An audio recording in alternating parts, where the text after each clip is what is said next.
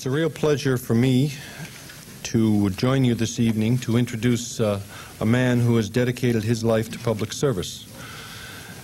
Ambassador Oakley joined the U.S. Foreign Service in 1957, and over the past three decades, he has served in numerous foreign posts in what I think we would all consider some of the most troubled spots in the world. He served as ambassador in Somalia, in Zaire, and in Pakistan. And more recently, as most of us know, he was appointed as special envoy to Somalia under both Presidents Clinton and Bush.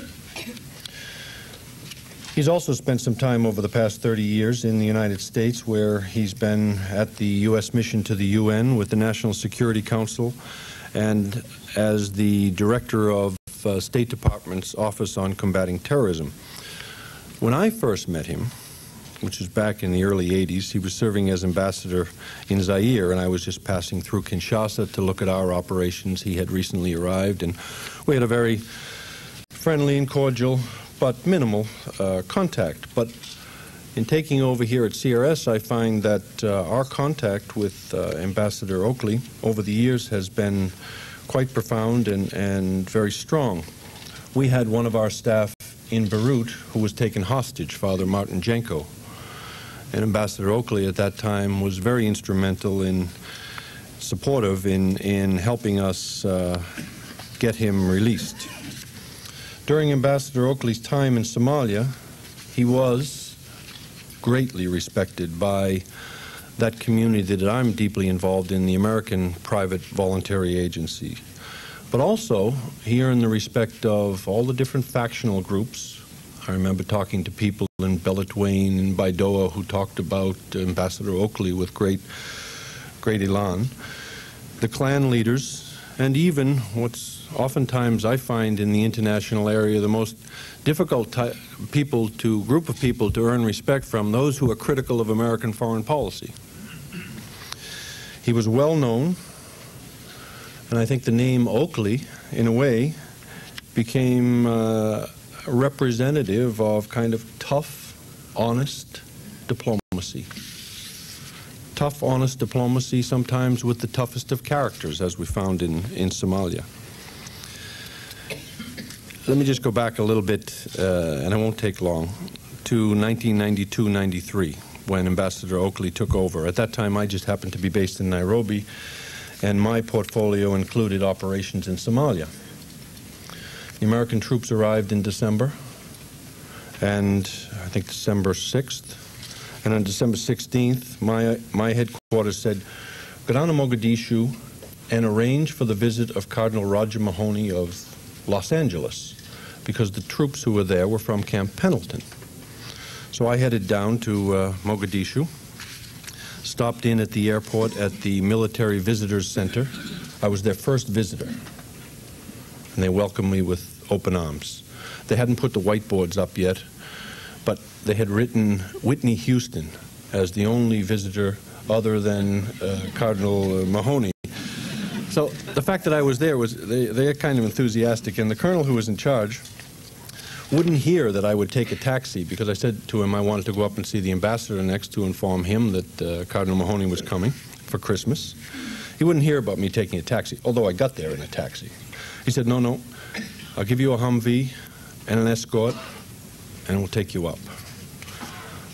So I jumped into the front Humvee with the young guys in the back with all their their get up and go in the back Humvee. And off we set out for to find Ambassador Oakley's residence. They had the maps. They were assured it was about a mile and a half away. You can imagine, we got lost. I said, I think this is the street. They said, no, no, no, uh, this isn't it. We turned down, and we pulled onto a sandy kind of road, and there's two armored personnel carriers with a whole bunch of UN Pakistani blue helmeted troops sitting on the armored personnel carriers. There's a big wall and a whole bunch of people milling outside the wall. We pulled up. I said, I'll get out and check.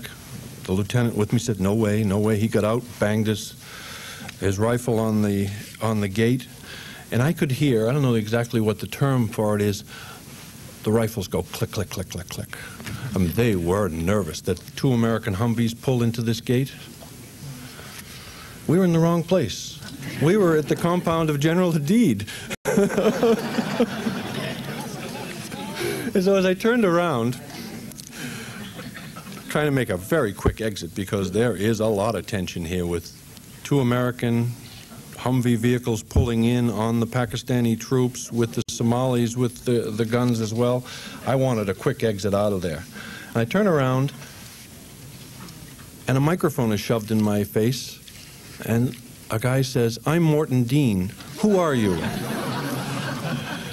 I said, I am nobody.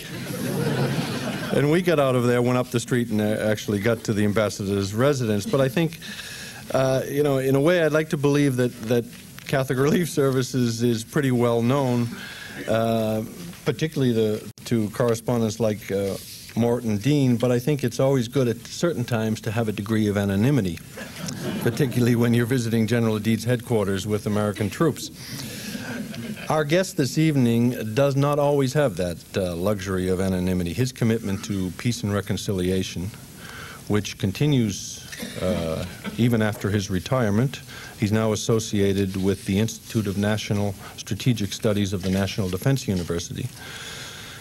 His commitment his name is recognized worldwide. And it's a great pleasure for me this evening to introduce a man I have long admired, Ambassador Oakley.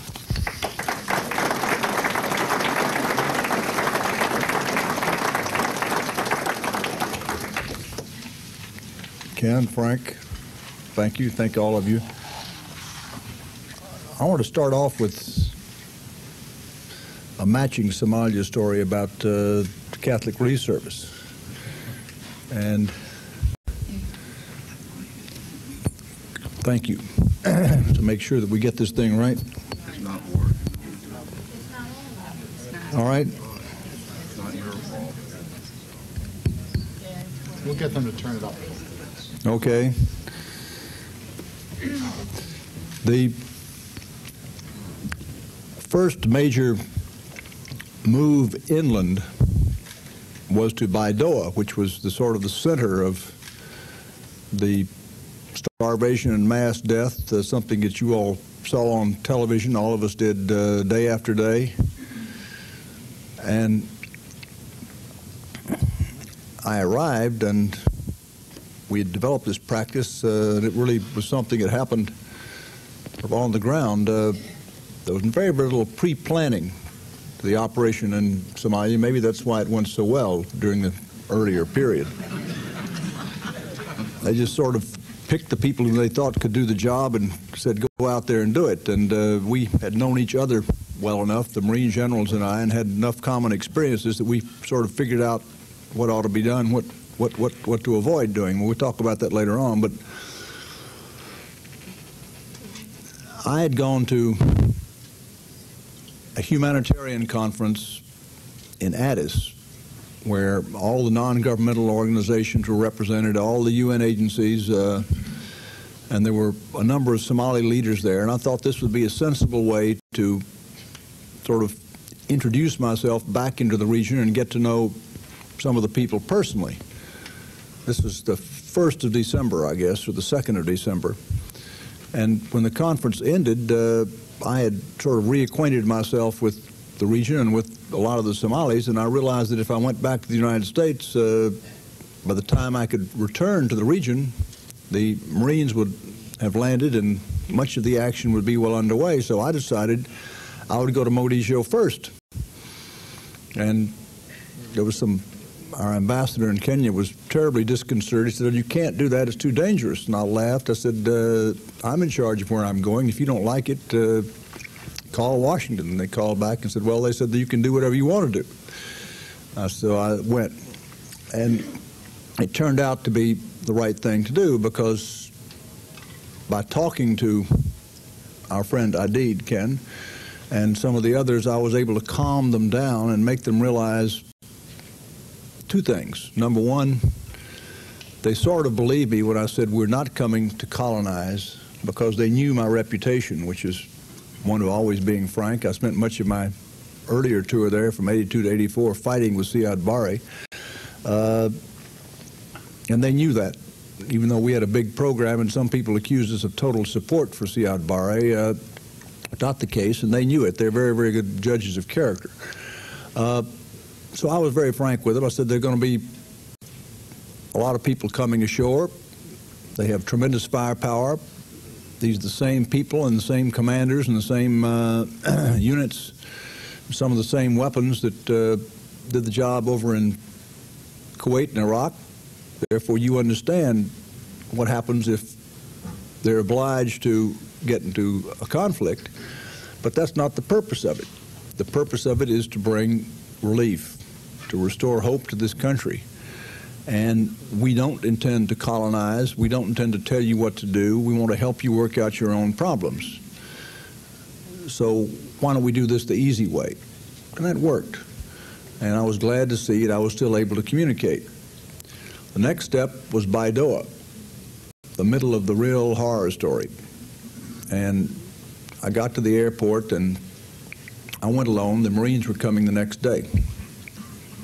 And big escort uh, with armed men and these wonderful so-called technical vehicles and all this stuff uh, from the airport into town. And I remember going to the compound of the uh, International Medical Corps and uh, people running around, some of the nurses screaming, oh, we're saved, we're saved, because they've been under tremendous tension, and they were afraid that they were going to be attacked uh, in anticipation and before the arrival of the Marines. They were afraid that uh, they would all be looted and who knows what else, but uh, that didn't happen. Anyway, I met with all the local leadership, the religious leaders, the clan leaders, the so-called political leaders, uh, the militia leaders, and talked it over with them and said, look, this is your time now. Peace is being restored. We want you to make something out of it. We want you to set up your own institutions, whatever you want. But we need to have something with which we can relate uh, so we can work with you. Uh, much better you tell us what you want to have done as we begin to provide relief and begin to do something to rehabilitate this, uh, this country. But we'd like to work with you. Also on security, I'll tell you the same thing I told Aidid and Ali Mahdi and the others in Mogadishu. If we could sit down and talk it over together and reach some understandings, then we can avoid accidents. And the accidents are going to be very, very unhappy for you all, uh, the militia, uh, not for us because we're very heavily armed. And therefore, we would like to avoid this sort of problem. And so they said, all right. Uh, but they had everybody there. And Aidid's man spoke up and said, oh, well, I'm telling everybody what to do. And I said, no, I don't really think that makes much sense. Uh, here we have uh, a representative of the local women's group. Uh, we have religious leaders. We've got uh, uh, clan leaders. And uh, we even have people from other factions. And although it is true that Aidid put a man in here as governor uh, when he was in charge militarily. No one's in charge militarily anymore. That period is over. So I think that all of you need to get together and work out some sort of approach. And then the sheikh, uh, old, old man with a hennaed beard, spoke up and said, I'm very worried. I said, what, what worries you? He said, I'm afraid that Islam is going to be swamped. He said, the country is so weak right now, and uh, we see you all coming in with all this force and all this uh, power. And uh, he looked around and he sort of, I could see he was staring at the representative of the Catholic Relief Services, who was in this small meeting with us. And I laughed and I said, no one is here, including my friend from the Catholic Relief Service, to impose anything upon you. That means political, religious, you name it. That's not our purpose. Furthermore, the United States has all possible religions. We have great respect for all religions. We have them all in our country, and we learn to respect them abroad. We have a number of countries with which we work very, very closely that are Muslim. I've served in several Muslim countries. And you'll see uh, when our troops arrive tomorrow that we have this sort of respect. Uh, and so he seemed to be reassured, and I went back to the airport with no escort whatsoever. I wanted to make it a point of honor. I said, coming in here, okay, but going back, we're not having any weapons because uh, I trust you, and I'm sure that you all will look after me. and that's the best protection you could have. With, we were fortunate because when I got back to Mogadishu, I was able to scramble around and find two Marines who were Lebanese Americans. And so uh, the first Marines that arrived in Baidoa the next day were Muslims. And that made a big impression upon the Sheikh. And uh, within a week, the Catholic Relief Service was helping him rebuild destroyed mosques, which made an even bigger impression upon everybody. And that's the way we tried to proceed. Uh,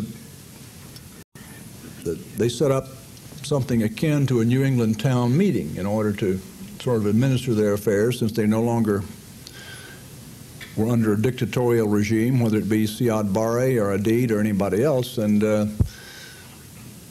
at one point, the town council, talking to this Marine colonel, said, over there is a compound full of bandits, and they've been raping and pillaging even after you got here. They sneak out at night and go through the countryside with these vehicles and do all sorts of terrible things, and we want you to uh, take care of them. And so he said, they, I think, probably about three times as many people uh, at that particular town meeting as are here this afternoon. And so the Marine colonel said, now, is that unanimous? and everyone, including Aidid's representatives, said, yes, yes, uh, these are terrible people. Uh, they must be removed. So he sent a squad of men over there with their weapons, and they knocked on the door politely and said, are you coming out or are we coming in?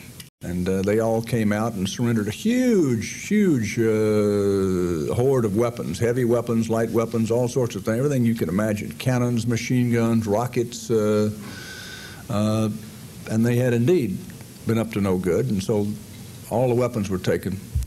The next day, Aidid sent his lieutenant up this sandy road you were talking about, Ken, to see me, and said, uh, Aidid wonders if he could get the weapons back. I said, which weapons? He said, uh, the ones that were confiscated up in Baidoa. I said, uh, but those were bandits. And I said, uh, Aidid's representatives said they were bandits and said that uh, the weapons should be taken away. He said, yes, yes, but in fact they were Aidid's people, and Aidid wants to know if he could get the weapons back. and I laughed and I said, his fellow name was Osman Atto, a great businessman uh, who actually turned out to be very, very helpful to us uh, because he understood the way Aidid thought, and he was a, was local Caterpillar representative. He also understood how Americans thought, and so he was invaluable. Some people thought that he was the devil. In fact, he was very, very important uh, force for moderation. And I said, no way. He laughed. He said, I knew that was going to be the answer, but Aidid told me I had to try. But it was a funny, funny country and a tricky one, uh, but we tried to approach it with minimal uh, confrontation. We had one basic rule, that is, decisions are not going to be made at gunpoint. Aside from that, we said to the Somalis, you work it out. You have your own way of solving disputes. That I know. If I tried to solve them, I would certainly get it wrong. Furthermore, you all would soon have me bogged down in all of your internal matters, and it would be like Gulliver the Lilliputians. Uh, I'd be unable to do anything because I'd be totally bogged down in your internal disputes. I said, so if you have an argument with somebody, uh, this happened several times, I said, okay, you have a complaint, be back in my office at 10 o'clock tomorrow morning, I'd have the other man there. I said, now you two sit down and talk it through, and when you reach some agreement, that's fine. Uh, take as long as you want. But Americans have a tendency to see the world through our own eyes. We have a tendency to assume we can solve everybody else's problems. I remember that from my first posting abroad in Khartoum in 1958, wondering how it is that Americans are so self-assured when we go abroad that we just tell other people exactly what to do and this is going to solve all their problems. And yet here at home, we seem to have a heck of a time solving our own problems, and we're very, very, and we're very, very critical of ourselves. Uh, therefore, uh, how is it that we sort of magically are one thing abroad and another thing at home? And we give the impression abroad that everything in this country is perfect. And until people get here, they sort of think that way too. Uh, but we tried to avoid these problems. Uh, the Marine generals and I, for example, had served in Vietnam and we'd served in Lebanon. And we said, we're going to avoid taking sides, even accidentally, in somebody else's civil war. Because that happened in Lebanon in 1983, and the Marine barracks got blown up, and uh, the U.S. policy was blown up, and the whole uh, thing was a real tragedy. And so we're not going to do that. Unpleasant as it may be, or individuals may be, or groups may be, uh, we're going to find a way to deal with all of them on an equal basis. Anyone who seriously threatens us, there'll be a quick response, and that happened on a few occasions, but only a few because they understood how quick and how decisive the response would be, and so they stopped trying. Uh, the U.S. forces were always alert, but always courteous. The rules of engagement, if you will, allowed them to shoot anytime they felt threatened, but in fact they leaned very, very far backwards. And for every time that a Somali was shot uh, because he was seen or appeared to be threatening uh, an American soldier, or the other soldiers for that matter, uh, with a couple of exceptions, there were 50 occasions when that could have happened. And uh, so by leaning backwards, the Somalis understood, in contrast to what happened later on, that we had the power, but we had no intent to abuse them. And so they would get angry. That's the temperament of the Somalis. They're very fractious, very difficult people. And yet, when they were angry, they'd throw stones rather than shooting uh, mortars or machine guns or rocket propelled grenades. And that was the level of violence that was tolerable. Uh, we would respond with pepper mace or tear gas or something of that kind. Uh, so the situation was never calm and peaceful but it was manageable, and we managed to keep it that way. We also decided, because we'd had a common experience in Vietnam, that we were not going to take over somebody else's country and start running it, as we had done in Vietnam. Aside from the military aspect of the war, there was a very important but less noted civilian aspect in Vietnam where the United States, in fact, took over the government. And we had an American advisor behind every Vietnamese, military and civilian. And one of my tasks, as a matter of fact, with Phil Habib, uh, orders from Lyndon Johnson in the White House to Cabot Lodge in Saigon, and he knew better. But his instruction to us was, I was the president of the United States wants South Vietnam to become a democracy. And we looked at each other and said, now, what does this mean? And Lodge says, those are your orders. So Habib and I proceeded to make all the preparations for a constituent assembly, which was elected. And after having been duly elected, uh, we turned over to them a draft constitution, which we had drawn up, and they duly fiddled with it a little bit and then ratified it. And uh, pretty soon they had elections, and they had the two-house uh, Congress and uh, an independent presidency and an independent judiciary and it was all totally hollow because it was built and made in the United States, and only so long as we were there could it be sustained. And as soon as we left, it collapsed, uh, and that was part of the problem. We took over somebody else's country, we were running it our way uh, in the middle of their war, if you will. and we concluded we didn't want to do that. Now, this gets back to the second half of what happened in Somalia, and I'm the cautious approach, which is one that had been developed over really 12 years of Reagan Bush foreign policy and national security policy.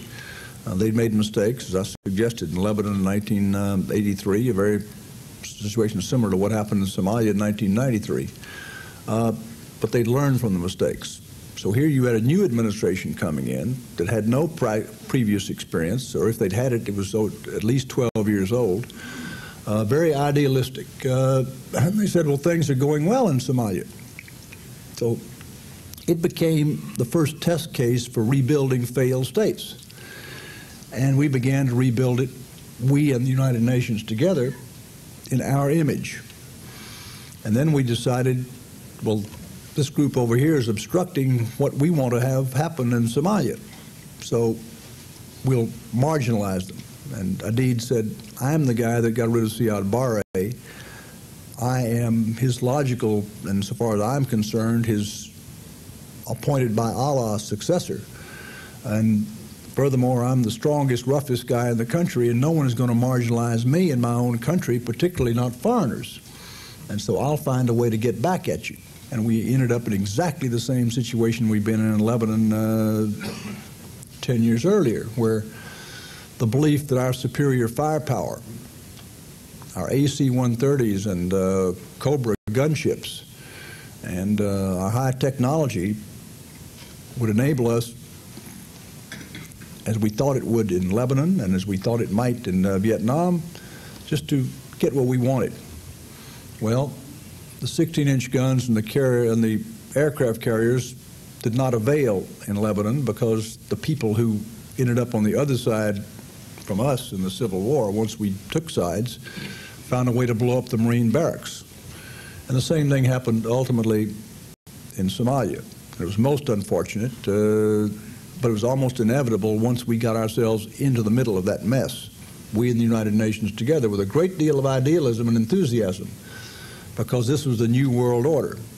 And the United Nations was going to be the instrument used to repair failed states, uh, to deal with the internal violence, which was becoming more and more acute. You all have seen it around the world. Uh, this is the way in which we're going to solve other people's problems. Well, it still is probably, well, let's not say, it is a very important means of dealing with the problems we have in the world today.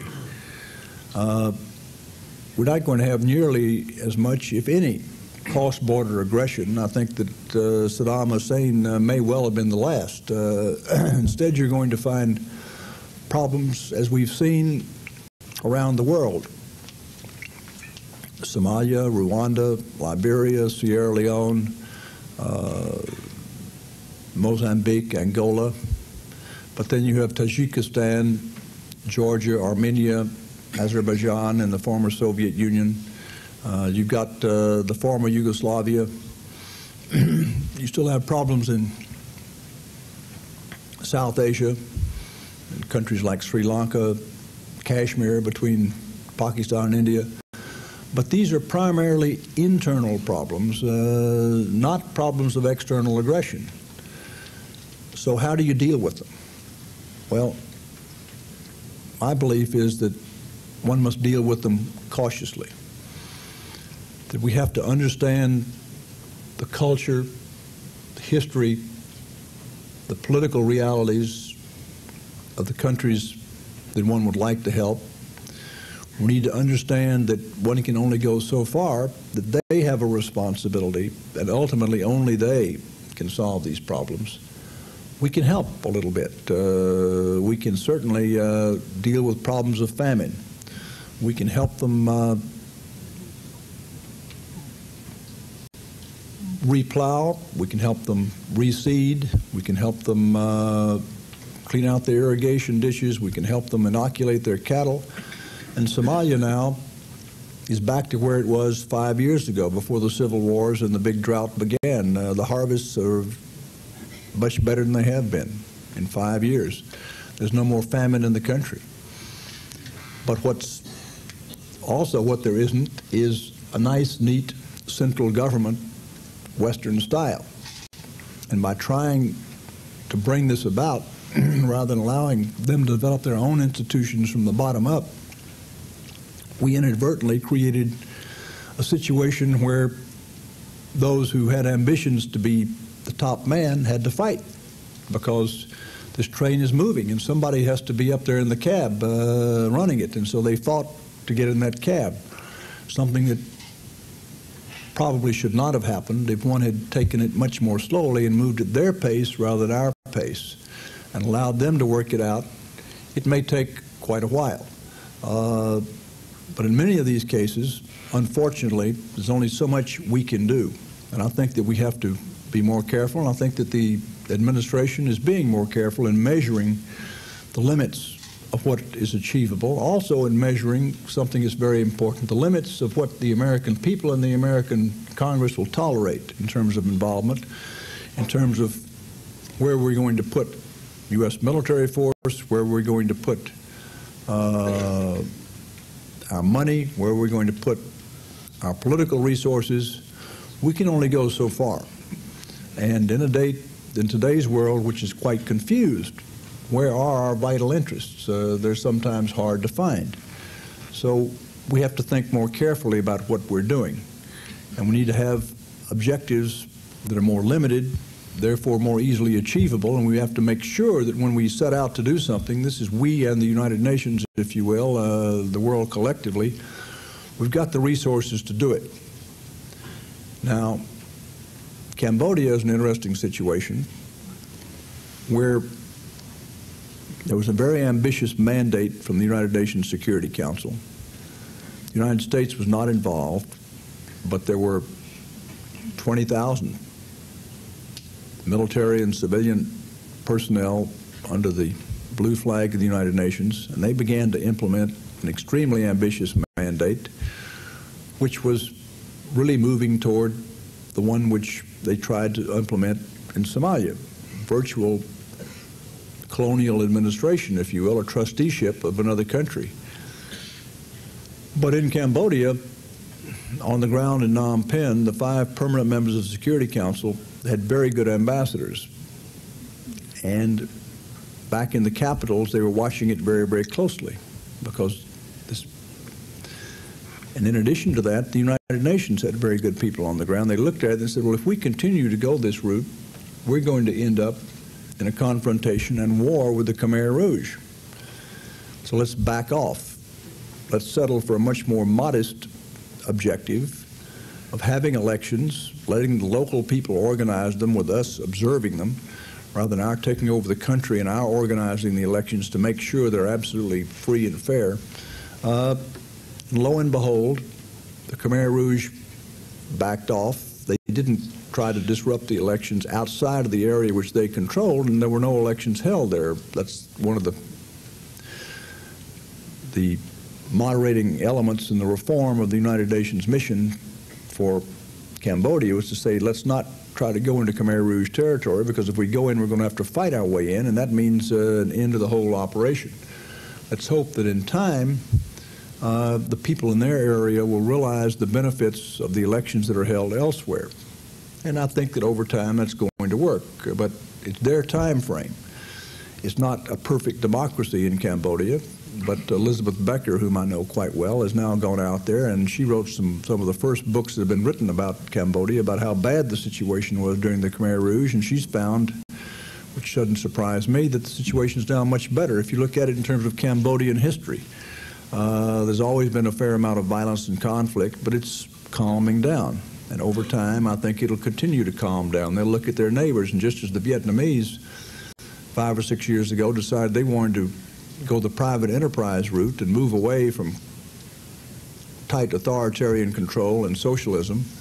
And they're now flourishing uh, because they saw what happened in the non-communist ASEAN states around them, uh, Thailand, Malaysia, Singapore, Indonesia, Philippines. Uh, and they saw what was happening in China, so they decided to take a different route. Uh, and Vietnam now is quite respectable politically and uh, economically and in other ways. So the same thing probably will happen in Cambodia over time because the example of the others uh, will, will be determining. But this is letting countries and regions work things out their way with a limited amount of assistance, uh, not going too far, not going too fast. And this is something we have to learn, I believe. I think that in a situation where our vital interests are not clearly at threat and where we have enough problems at home, we need to understand that there may not be an opportunity for a definitive solution. And agonizing as it is, and you hear from Warren Zimmermann, a good friend of mine and a superb diplomat uh, in three weeks, I think that the best one can do in Bosnia right now is containment. if it doesn't spread and Sarajevo doesn't start a third world war like it started the First World War, everyone will have achieved the absolutely essential minimal objective. Uh, there's a lot of work being done by non-governmental organizations, by international, by the ICRC, the Red Cross, uh, by UN agencies, and by governments like the United States to alleviate the humanitarian problems. but the United Nations has never been strong enough to deal with the fundamental problems. There's been a lot of self-delusion that maybe we could. There's been a lot of political rhetoric. Uh, yes, uh, we're going to do this, we're going to do that, but in fact, uh, it's never been on. And I think this is one of the problems is that, uh, as I've seen it, in the last three or four years, once the, curiously, uh, the Soviet veto disappeared in the Security Council, the Security Council has become very much like the General Assembly used to be and still is a place where all sorts of resolutions and presidential statements are issued, which make those who issue them look good or feel good, but they're not intended, or at least uh, they're not seriously intended, to solve the problem. There have been 139 Security Council resolutions and presidential statements on the former Yugoslavia in the past uh, four years, and we've seen the result. Uh, there have been eight to ten times as many Security Council resolutions adopted every year in the past four years as there were every year up until 1989 when the uh, Berlin Wall fell and uh, the Soviets and the Americans stopped having at each other in the Security Council. This change toward cooperation rather than confrontation was illusory. And George Bush invented the term New World Order, uh, thinking that the cooperation between the five permanent members of the Security Council and most of the countries of the world in dealing with the threat from Iraq really did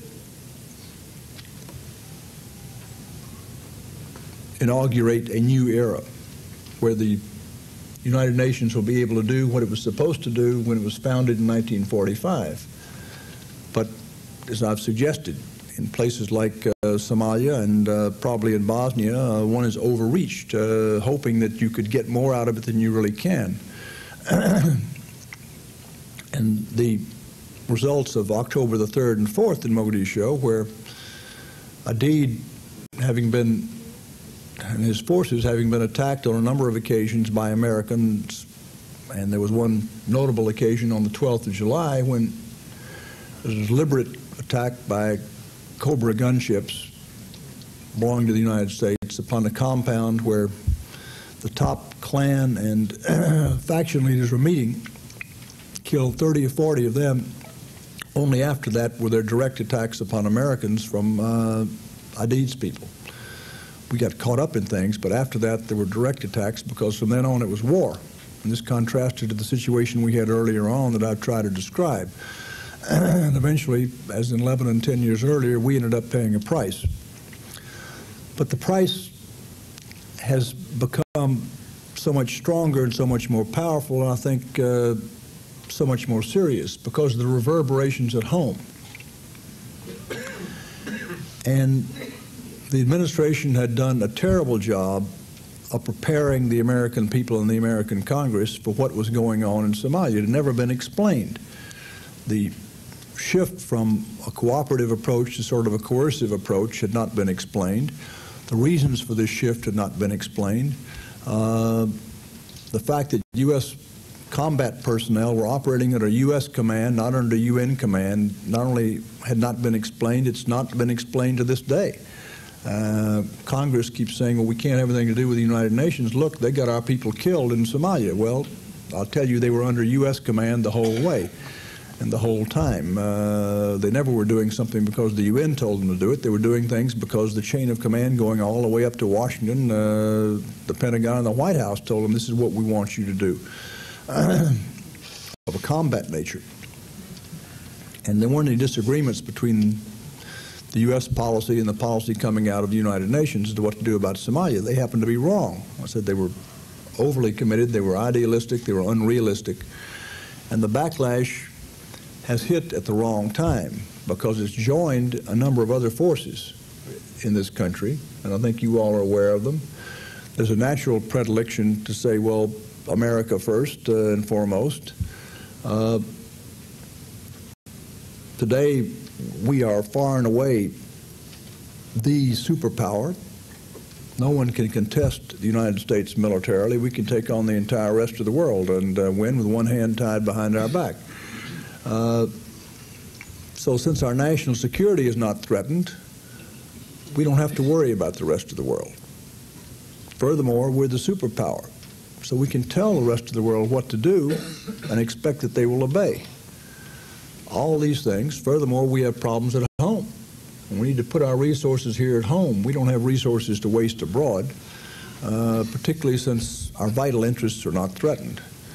Uh, all these things have sort of come together, and then you have a problem in Congress of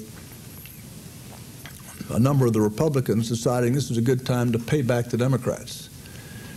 And in 1974, 76, 78, uh, congressional elections, Democrats began to impose increasingly tight controls over the power of the executive branch, saying you must not do this, you must not do that, uh, and then they began to say, this is what you want, we want you to do in great detail. Uh, you can't sell arms abroad without uh, the approval of the Congress. You can't uh, do this. You had the War Powers Act, a reaction to Vietnam. It's all understandable, but nevertheless, it just kept getting farther and farther out, more and more micromanagement. And the general Republican approach is to say we want to stop micromanagement. Uh, and yet, if you look at the two foreign assistance bills, one in the House uh, and one in the Senate, they're loaded with details saying uh, we, you must recognize Tibet as a state. Uh, any woman, this is my wife's area, Phyllis is the Assistant Secretary for Population, Refugees, and Migration, and uh, she's been in the middle of a number of fights. I sit on the sidelines and watch. But uh, one of the items in the bill says, here again, it's what happens when you're well motivated, but you don't really understand and you don't think through what you're doing. The provision of the bill says the United States must give political asylum to any woman who has a justified fear of forced sterilization or abortion. Well, Phyllis came home and said, uh, This is interesting because this means there are 200 million Chinese women who are going to be lining up for political asylum. And are we really ready for that? Well, I don't think that uh, Representative Chris Smith uh, really had that in mind, but uh, that's what it means. Uh, because once this starts, you're not going to be able to stop it. It's very idealistic. It's, uh, it's wonderful from one point of view, but it's terribly unrealistic which shows that the Republicans are just as easy as the Democrats when it comes to falling into these kind of things of micromanaging and putting your own special hobby horse in there and doing it your way. And uh, in addition to that, uh, they're trying to put very tight controls over the power of the executive branch, much as the Democrats did after the Vietnam War with the War Powers Act and other things. People abroad are saying, well, who's in control in the United States, uh, the president or the Congress? Uh, we don't know who to deal with anymore. this is causing a problem. It's one that we have to look at very, very carefully, I think, and it's causing a lot of anguish in Washington. Uh, because if you look at the real world, you'll see that the United States, yes, is not threatened. We're the superpower. Yet, we are probably more dependent upon the rest of the world than we have been in 100 years. Since the Europeans became weaker and we became stronger, and we no longer had to worry about European designs upon the United States or upon the Western Hemisphere. Spanish, the British, uh, Germans, the French uh, all fell by the wayside. So we didn't have to worry about them in this part of the world. we could go our own way. But today, the economic interdependence of the United States has become quite pronounced you think about it, exports and imports in the past 10 years have gone up each from 4% of our gross national product to 12%, for tripling. Uh, most of the hundreds of thousands of jobs that have been or will be created in this decade are for exports. That's the current dynamic factor in the U.S. economy. We have to learn how to compete. On the other hand, uh, we're getting financing from abroad. The Japanese and others are buying our treasury bonds in order to cover our deficit habit. Uh, you look at the components for the high-tech machinery that's made in this country, whether it's automobiles or airplanes or computers or what have you, and the parts come from all over the world. If we weren't able to get them from abroad, uh, we wouldn't be able to produce the things we make that are so important for our civilian economy and for our military establishment because the components come, in many cases, from abroad. All of them are not made here in the United States for almost anything that we produce. So that's another way in which we're dependent. Uh, what happens to the stock markets in London, in Bonn, in Singapore, uh, as we've seen with Barings Bank, uh, can have a tremendous impact upon the stock market here. So we're in an, in an, an interdependent world. If we turn our back on it, we're the ones who are going to be hurt. Even though our security is not threatened in a military sense, we have to think about our relationships with the rest of the world. We also have to think about the long-term nature of the world and where we'd like to see it come out. When we're thinking about Bosnia, we have to remember that Sarajevo for the Europeans brings very clear memories of World War I. And so when we tell them what to do, we say, well, lift the embargo, do this, do that. There are no American troops on the ground. The French, the British, the Canadians, the ones who may be killed if uh, things go badly because of something we've suggested to be done. Uh, they don't take it very kindly. I say, who are you to tell us what to do from great distance when you're not even willing to be involved?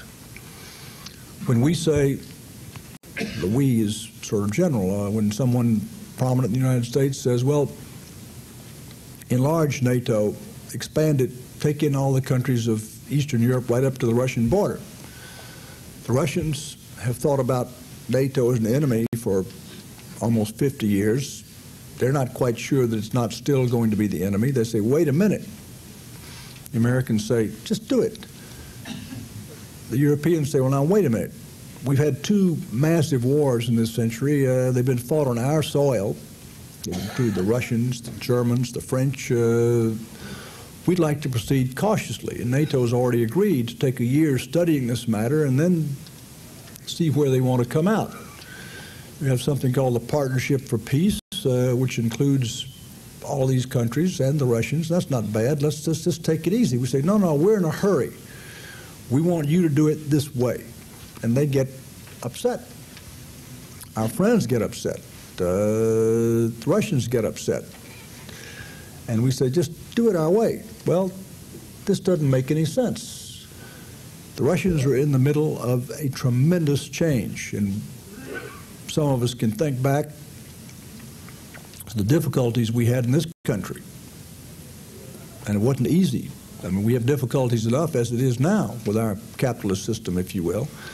But the period of transition, uh, when we had robber barons and uh, revolutions and uh, of workers and things of that kind, and uh, no real social safety net, were very, very tough on this country. The years of the Depression. And uh, someone said, I think, uh, to President Clinton when he was in Moscow, said, you know, the situation in this country is like it was during the Depression in the United States. And it took us quite a while to work through that. And it wasn't easy. We weren't quite sure we were going to get through it. And that's the situation they're in. They're moving in the right direction, but it's slowly. And it's not going to be easy for them. It's not going to be easy for the rest of us, but we need to be patient. This doesn't mean tolerating or accepting everything they do. It doesn't mean that we shouldn't be anguished by Chechnya, but it means that we have to understand their limits as to what we can get and their limits as to what we can expect. And we have to be more careful in dealing with the rest of the world because we want to help it through. They want our leadership like never before. They're troubled by what's happening. Uh, yet they see us as very uncertain. They see the political fighting, they see the confusion within the administration, they see the fights between Congress and the administration as to who's in charge. They say, well, we're not getting any leadership from the United States. Furthermore, we're not getting any understanding. And if you want to have a trade war, okay, we're ready to fight. Uh, we thought you wanted cooperation with NAFTA and uh, GATT and the World Trade Organization, but if you want to have a trade war, we're ready because our economies are moving faster than yours.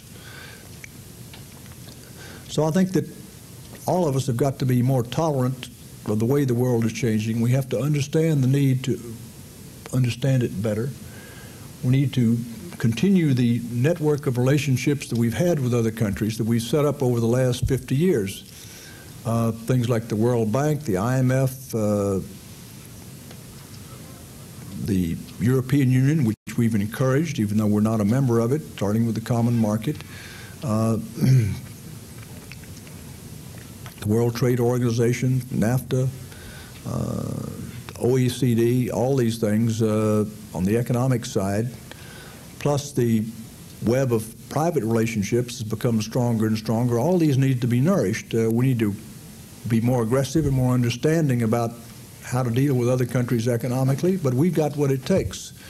If we just work harder at understanding it and uh, continue to do what we're doing and don't just suddenly turn away and say, we don't need any of these organizations anymore. They served us well for 50 years. They've enabled us to achieve a lot of things politically and economically, but just, just toss them out. We won't vote any money for them this year. Uh, instead of saying, let's understand how to use them better in terms of peacekeeping or same thing is true with organizations like uh, the OAS, Uh, others of a political side, which we've used over the past 50 years. Collective security, if you will, is still a very important thing. We need to work with others. The Security Council was invaluable during the war in the Gulf. People tend to forget about that. Had the U.S.-led Operation in the Gulf, Desert Shield and Desert Storm, not had the endorsement of the Security Council, achieved by a great deal of hard work by President Bush and Secretary of State Baker, bring the Chinese and the Russians along, something we weren't sure was going to happen. But had this not happened that way, the Europeans would probably not have been with us. The other Arabs for sure would not have been with us. So we'd have been in a situation where we would not have had use of the military facilities in Saudi Arabia in order to protect the oil fields, which were terribly important to us, and even to protect them, but they would not have been able to go along with us had the Security Council not endorsed it. And so you'd have had, throughout the Arab world, an explosion of a political nature, very much like the one you had with the oil fields in Kuwait. The whole Arab world would have been burning because there have been the infidels, the United States, coming in against the Muslims the fact that we had a number of very strong Muslim countries with us was very, very important politically in making sure that we didn't have an explosion throughout the Muslim world, making sure that people understood this was clearly a response to an act of aggression. It was not Christians against Muslims, if you will. It was those who believe in peace against an aggressor. But we had to bring others along. This is very important. It was more important, frankly, than the fact that we ended up uh, financially in the black because they eventually paid us more than we actually spent. Uh, but that was important, too. So there is virtue in collective action, if you will. There are different ways to achieve it, but you shouldn't say we don't need the United Nations anymore because we're so strong and powerful. Uh, we do. We don't need other countries. We can stop uh, at the water's edge and say, you do it our way or we'll write you off because the trends over the long term in China as well as in Russia are probably for progress in the right direction, but it's very difficult. And we, as I say, I repeat, for the Chinese as for the Russians, we can't accept everything they do. On the other hand, there are limits as to what we can get them to do to change along the lines we would like them to change using our own culture. Over time, what's happened already in China shows what's going to happen in the future. There's much more tolerance, there's much less control from Beijing than there used to be because the economy is changing. The same thing has happened in Thailand and Korea. Authoritarian governments that were run by the military and by those who they supported have given way to a great deal of democracy because the development of a middle class has made this absolutely unavoidable. And the same thing, I suspect, will take place over time with China. But if it doesn't, if they're pushed too hard, at this time when they're worrying about the succession of leadership, then you may find a country of a billion people that fragments. Can you imagine China looking like Somalia or Liberia? Uh, that would certainly not be good for the human rights of the Chinese people. It would not be good for the economy of China. It would not be good for those who are dealing commercially with the Chinese, including the United States. It would not be good for the security of the whole region. So one needs to be a little bit tolerant, a little bit patient in dealing with them. I would say with the Chinese and the Russians both, I would reapply the old Reagan theory of trust but verify.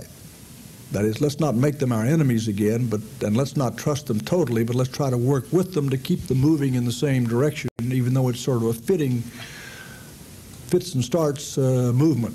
And I think that we have to pay more attention to the Europeans and uh, we have to pay more attention to others in how we conduct our foreign policy. We can't simply say, you're going to do it our way. Thank you.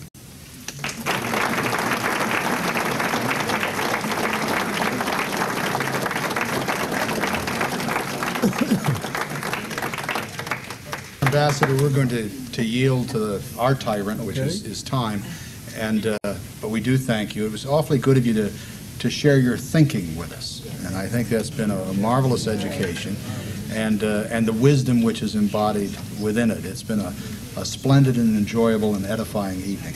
Thanks so much.